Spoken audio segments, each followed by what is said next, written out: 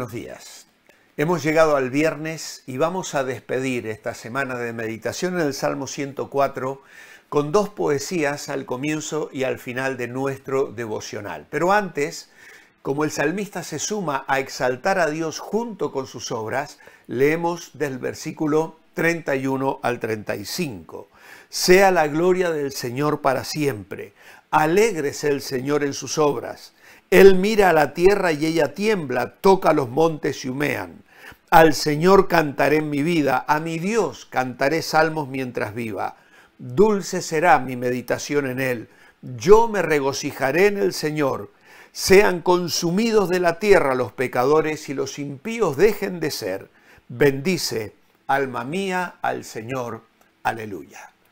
Hay una hermosa canción que aparece como himno en algunos himnarios evangélicos, eh, pero que es una poesía de José Zorrilla, un autor español que vivió en la pobreza, pero que de su pluma salieron poemas extraordinarios. Uno de ellos decía lo siguiente, Señor, yo te conozco, la noche azul serena me dice desde lejos, tu Dios se esconde allí. Pero la noche oscura, la de nublados cielos, me dice más pujante, tu Dios se acerca a ti, a ti. Te acercas, sí. Conozco las orlas de tu manto, en esa nube ardiente con que ceñido estás. El resplandor conozco de tu semblante santo, cuando al cruzar el éter relampagueando vas. Conozco de tus pasos las invisibles huellas del repentino trueno en el crujiente son. Las chispas de tus carros conozco en las centellas, tu aliento en el rugido del rápido aquilón. ¿Quién ante ti parece? ¿Quién es en tu presencia más que una arista seca que el aire va a romper?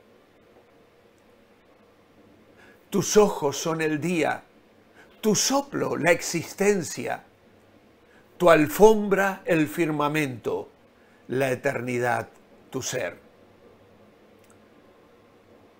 Señor, yo te conozco, mi corazón te adora.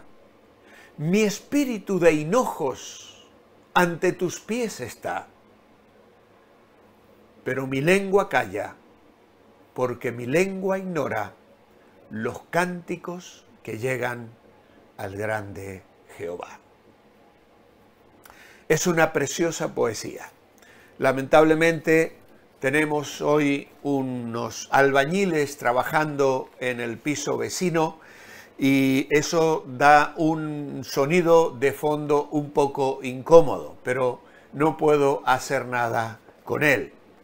Decía Spurgeon, las obras de Dios pueden pasar, pero no su gloria.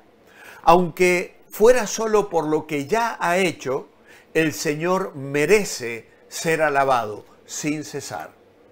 Nosotros sabemos lo reconfortante que es disfrutar de la obra de nuestras manos.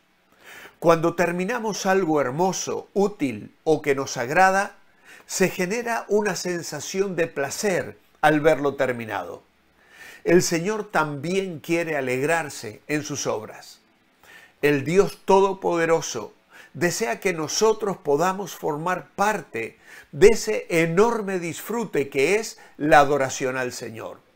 Por ello el Salmo termina con los versículos 33 al 35 en los que encontramos que los hijos de Dios debemos cantarle salmos mientras vivamos, meditar y gozarnos en él. Y la última frase del Salmo es como la primera. Bendice alma mía al Señor. Aunque en este caso hay un aleluya adicional. El salmista tras considerar todas las maravillas del poder creador y sustentador del Señor, no puede hacer otra cosa que bendecir su nombre y decir Aleluya, bendito sea el Señor. Que por otra parte es la primera vez que aparece en las páginas de la Escritura esta expresión. Quiero dejar con vosotros un poema anónimo que me acompaña también desde mi juventud, entre viejas páginas ya amarillas que, me, que he ido coleccionando a medida que encontraba estas poesías que bendecían mi vida y que espero bendigan las vuestras hoy. Este poema se titula Presencia y dice lo siguiente, estás en el murmullo de la brisa, en el canto del agua al murmurar, en el tierno capullo de la rosa y en la paz de la aurora matinal. Estás en el aire que acaricia suavemente las flores al pasar. Estás en la ternura que reposa dulcemente en tus ojos al mirar. Todo en ti es hermosa poesía, como el agua del claro manantial, cual la trémula lágrima que asoma y todo lo embellece en su rodar. Estás en el trino de las aves que se elevan al cielo sin cesar. Estás en el perfume de la rosa que inspira al amor en su soñar. Estás en mis noches y en mis días, estás en mis horas al pasar, estás en los arpegios que en mi alma el arrullo de tu amor hace brotar. Por eso yo te quiero, dulce vida, todo en ti para mí es un soñar. Me inspiras, me conduces, me deleitas en la suave y dulce luz de tu mirar. Es una maravillosa poesía. No sé si tienes por hábito detenerte a mirar la creación y contemplar en ella la gloria de Dios. Yo lo suelo hacer.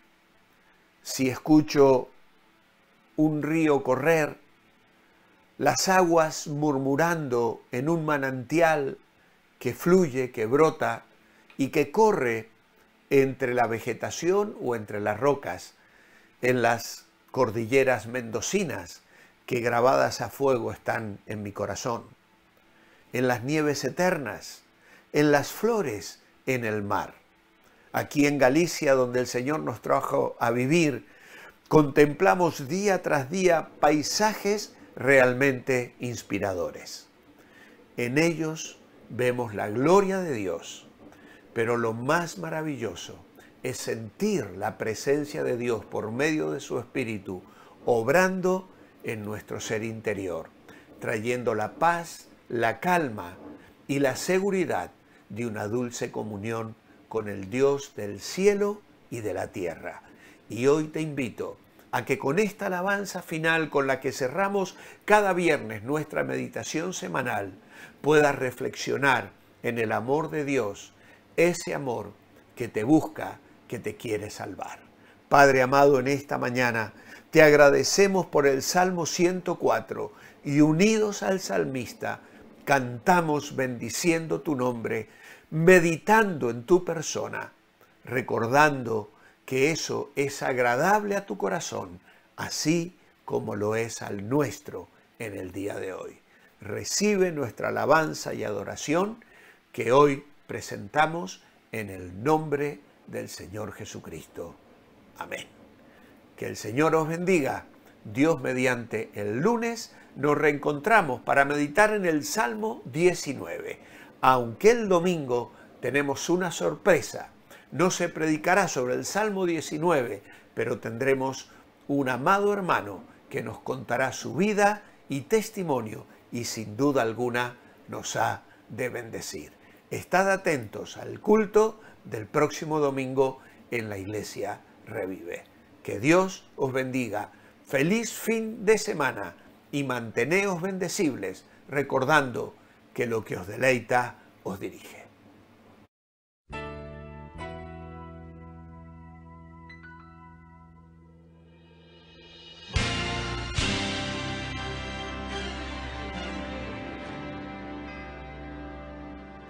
el autor y director del universo.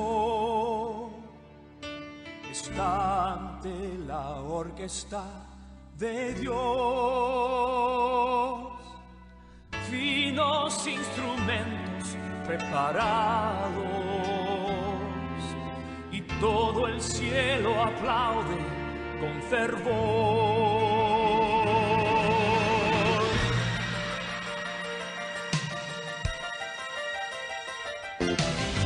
El batir de las estaciones. Al alba trompetas mil, toca el sol. Los vientos cantan en sublime, por batuta de nuestro Señor. Los mares y costas han de dar la cadencia. Cósmica rima las galaxias van. La lluvia en libertad casi copada. Más rayo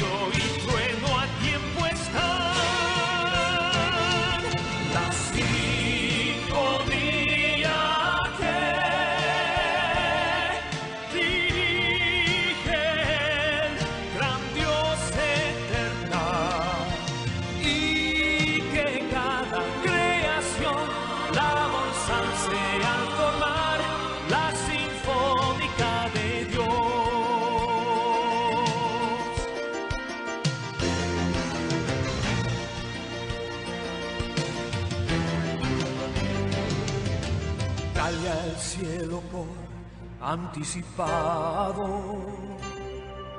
El gran yo soy miró al hombre mortal, masivo coro sin mancha vestido, cantan solo a él su adoración.